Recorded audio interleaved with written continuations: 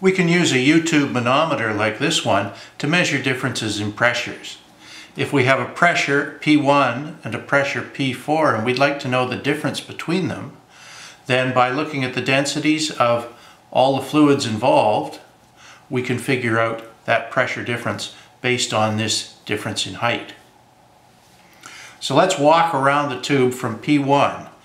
P2, the pressure at this location here, will be P1 plus rho 1 times G times H1 minus H2, increasing as we go down here.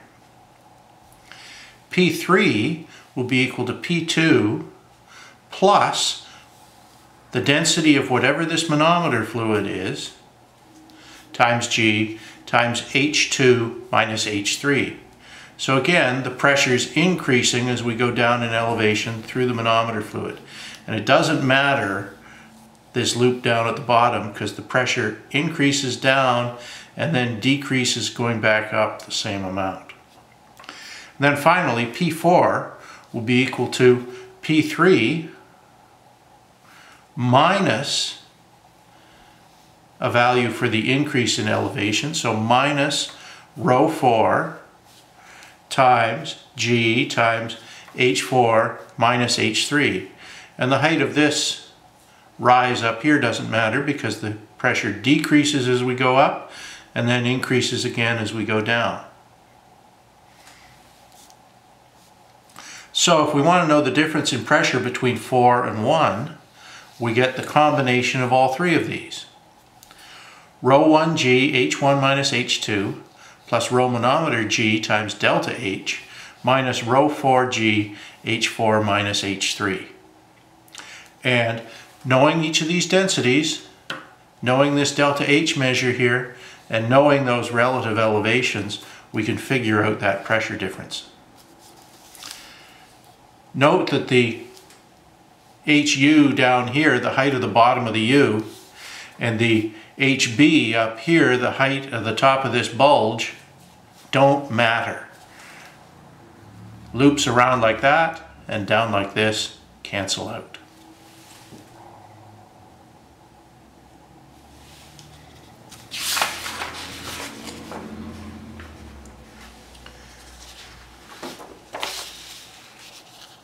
There are some special cases we can look at for manometers. For instance, we've got P4 minus P1 for our U-tube manometer depending on all three legs of the manometer, from there through here and out to there. But if we have air over a liquid, then rho 1 and rho 4 are both equal at about 1.2 kilograms per cubic meter if it's atmospheric air, and much, much less than the manometer fluid. So they'll have a negligible effect. And we'll wind up with P4 minus P1 equal to rho manometer, whatever this fluid is, times G times the delta H, the difference in heights. Alternately, if we have water over mercury, so we've got water in here and water in here, then Rho 1 is equal to rho 4 is the density of water. And the difference in pressure between 4 and 1 is rho H2O times G times H1 minus H2 minus H4 plus H3 gets us through all the water elements. And then an element for rho G, rho Hg, G delta H. Let's try that again. For water over mercury, the densities are the same, so we can still write the P4 minus P1 equation following the same way and group the, the water legs together. If we arrange that this way, we can look at H1 minus H4, the difference in height between those two locations, and then H2 minus H3, the difference in height between those two locations for the water. Then we also have rho Hg times G delta H. Thus we'll have a difference in pressure due to the fact that 1 and 4 are at different elevations. And we'll have a difference in pressure due to the fact that mercury and water have very different densities over this delta H. So the difference in densities times delta H gives us the difference in pressures between the two.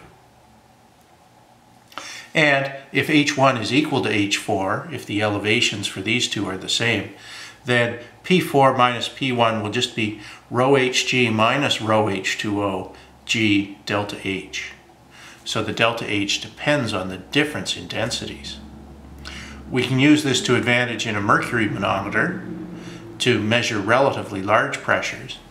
Or if we make our manometer fluids very close in density so that this fluid is very close to the density of this fluid, then we can magnify small pressure differences into large delta H ranges. If we had a reservoir like this open to atmosphere with a pipe coming out of it and nothing to block the flow, then water is going to flow down through here, out through the pipe, and out onto the ground out here. There's going to be friction, viscous shear, resisting the motion in the pipe. So the result is there's going to be a pressure drop. The pressure will be quite high here and drop down to atmospheric pressure at the exit. If we put a bunch of tubes on the pipe sticking out the side and going up like this, these are piezometers. And although this fluid is moving, the fluid in each of these tubes in a steady situation will be stationary. The result is we can apply fluid statics from here up to here to find out the pressure. Just delta P equal to rho G delta H. So a high height here indicates a high pressure here, a lower height, a lower pressure, a lower height, a lower pressure, and a lower height, another lower pressure. These are called piezometers and they allow us to directly visualize the pressure gradient as we go down the pipe. We'll talk more later about uh, pressure losses in pipes and just how to characterize the friction in a pipe like this.